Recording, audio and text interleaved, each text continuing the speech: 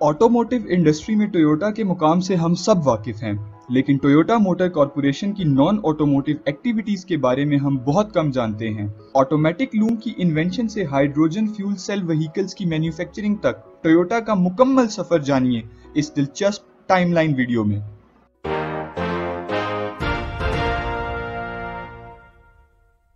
Toyota automobiles दरअसल एक division थी टोयोटा ऑटोमेटिक लूम वर्क्स की।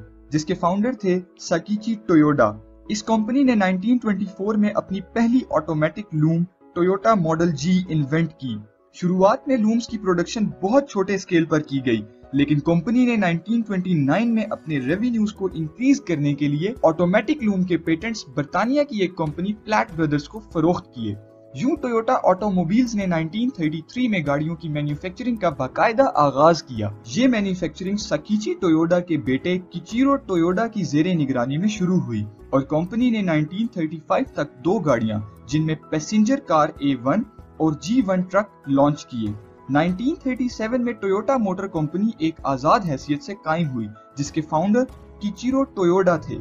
इब्तदा में गाड़ियाँ टोयोडा के नाम से बेची गईं, जो कि कंपनी के फाउंडर किचीरो टोयोडा का फैमिली नेम था और यूँ शुरू हुआ टोयोटा का लंबा सफ़र जिसे शुरू हुए आज इक्यासी साल गुजर चुके हैं। टोयोटा ने अपनी पहली पैसेंजर कार 1936 अप्रैल में मुकम्मल की। इस गाड़ी की लॉन्च प्राइस 3,350 येन थी जो कि फोर्ड और जनरल मोटर्स की गाड़ियों की निस्बत 400 येन कम थी। सितंबर 1936 में टोयोटा ने कंपनी की ब्रांडिंग के लिए एक पब्लिक कंपटीशन अनाउंस किया। जिसमें सत्ताईस हज़ार डिजाइनर्स ने पार्टिसिपेट किया।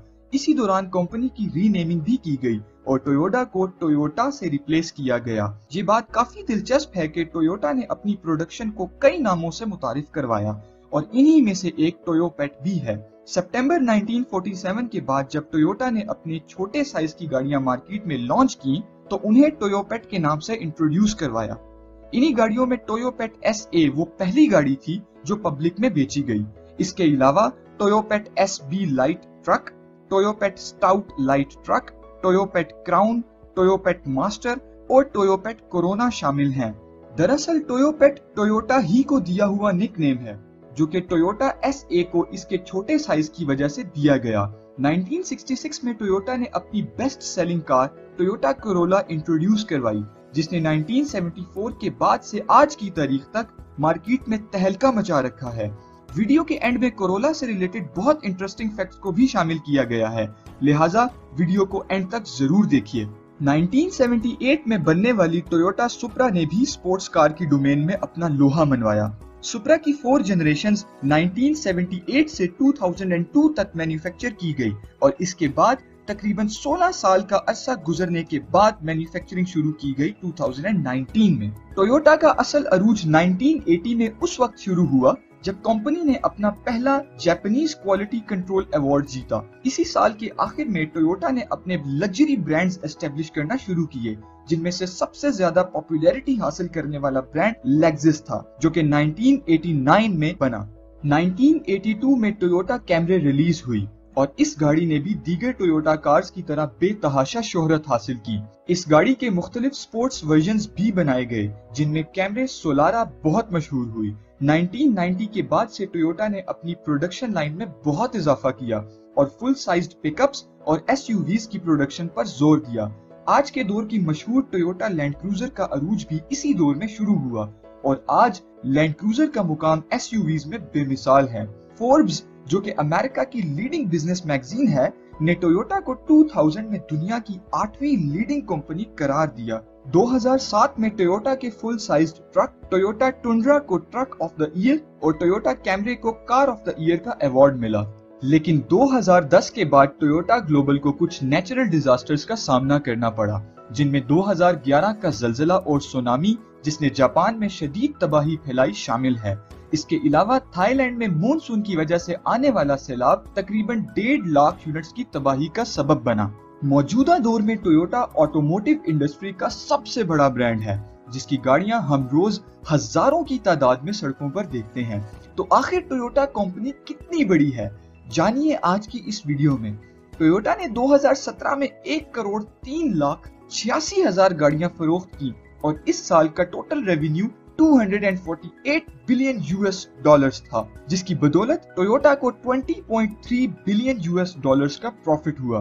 टोयोटा के कुल असासों की मालियत 419 बिलियन यूएस डॉलर्स है। अगर हम टोयोटा का मुकाबला वॉल्क्सवैगन से करें, जो कि जर्मनी के मशहूर तरीन कार मैन्युफैक्चरर्स हैं तो उन्होंने 2017 में 123 बिलियन यूएस डॉलर्स का रेवेन्यू जनरेट किया और 2.2 बिलियन यूएस डॉलर्स का प्रॉफिट जो कि टोयोटा के मुकाबले में तकरीबन 10 गुना कम है। इसी तरह जनरल मोटर्स ने 166 बिलियन यूएस डॉलर्स का रेवेन्यू जनरेट किया और 9 billion US dollars of profit Toyota Japan की सबसे बड़ी कंपनी है, जिसकी सरमायाकारी 193 बिलियन यूएस डॉलर्स है। इसके साथ साथ टोयोटा ने और बहुत सी कंपनीज़ खरीद रखी हैं, जिनमें डेहाइट्सो हीनो 16% of the share of Subaru, 6% of the shares of Isuzu और 2016 तक 10% स्टेक ऑफ़ टेस्ला और बात सिर्फ़ यही खत्म नहीं होती। टोयोटा के शेयर्स एक जापानीज कंपनी जिसका नाम क्योहो काई है में भी है जो कि 334 कंपनीज़ ऑन करती है। गाड़ियों के अलावा टोयोटा की इन्वॉल्वमेंट जहाजों की मैन्युफैक्चरिंग में भी है जो कि 2020 तक अपना पहला प्राइवेट लग्जरी जेट लॉन्च करेगी। टोयोटा मोटर्स के मैन्युफैक्चरिंग प्लांट्स दुनिया के 27 मुख्तलिफ़ ममालिक में हैं जिनमें Pakistan India Turkey America Russia France Brazil UK Poland और कनाडा शामिल हैं। कंपनी के एम्प्लॉयज़ की तादाद 349,000 है। रेवेन्यूज के मुताबिक टोयोटा दुनिया की नौवीं बड़ी कंपनी है और इनकी शमूलियत agriculture safety and disaster robotics education aeronautics science and technology engineering and mathematics banking and finance और लीजिंग में भी है। ओके तो यहाँ तक हमारी वीडियो तकरीबन मुकम्मल हो चुकी है। लेकिन वीडियो को खत्म करने से पहले टोयोटा कोरोला के इंटरेस्टिंग फैक्ट्स को आप दोस्तों से ज़रूर शेयर करना चाहूँगा। क्योंकि ये फैक्ट्स बहुत ही सरप्राइजिंग हैं। 1966 से टोयोटा तकरीबन हर 37 सेकंड्स में एक कोरोला मैन्युफैक्चर और सेल करती है। लेकिन बात सिर्फ़ यही नहीं रुकी। आज तकरीबन हर 15 सेकंड्स में एक टोयोटा करोला खरीदी जा रही है। करोला की 44 मिलियन सेल्स मुकम्मल होने पर अगर उन्हें एक के बाद एक खड़ा किया जाए तो ये दुनिया के गिर्द पाँच चक्कर मुकम्मल कर लेंगी। और इन तमाम ने आज तक जितना सफ़र किया है, वो तकरीबन 50 मरतबा सूरज से ज़मीन तक का सफ़र शुमार किया जा सकता है। और बिलाशुबा करोला आज दुनिया की बेस्ट सेलिंग कार है। I know it was long but really interesting video को देखने का बहुत शुक्रिया। मैं अपनी भरपूर कोशिश कर रहा हूँ कि बेहतर से बेहतर कंटेंट आपके साथ शेयर करूँ और अपनी प्रोडक्शन क्वालिटी को भी इंक्रीज करूँ। इसीलिए मैंने एक पोल क्रिएट किया है, जिसके ज़रिए से मैं आपकी राय जानना चाहता हूँ। अपनी कीमती राय से ज़रूर आगाह कीजिएगा। चैनल को सब्सक्राइब करके मेरी मोटिवेशन में इजाफा कीजिए। It's Rizwan stay